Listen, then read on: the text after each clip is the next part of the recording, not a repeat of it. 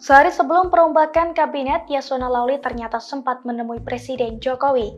Yasona sempat menyampaikan terima kasih dan maaf secara langsung kepada Jokowi. Dilansir dari tribunnews.com, isi percakapan dalam pertemuan itu diungkapkan langsung oleh Yasona. Tepatnya saat pidato dalam upacara peringatan Hari Pengayoman ke-79 di kantor Kemenkumham Kuningan, Jakarta pada Senin 19 Agustus 2024. Yasona mengatakan bahwa pertemuan itu terjadi setelah ia dipanggil oleh Presiden Jokowi. Dalam kesempatan itu, Yasona mengaku bahwa dirinya menyampaikan ucapan terima kasih atas kepercayaan Jokowi yang menunjuknya sebagai Menteri Hukum dan HAM selama 10 tahun kurang 2 bulan. Namun politisi PDIP itu juga menyadari bahwa selama kepemimpinannya masih jauh dari kata sempurna, sehingga ia juga menyampaikan permintaan maafnya.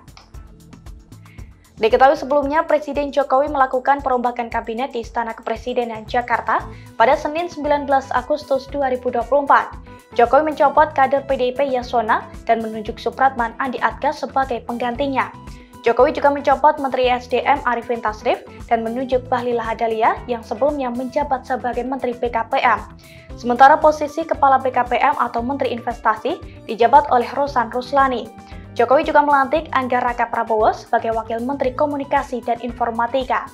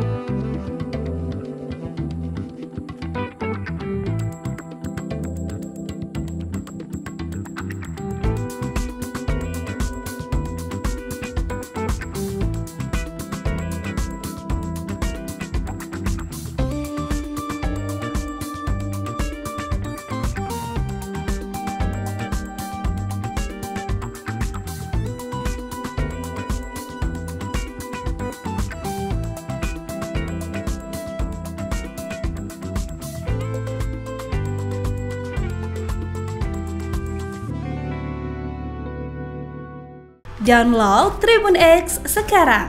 Menghadirkan lokal menjadi Indonesia.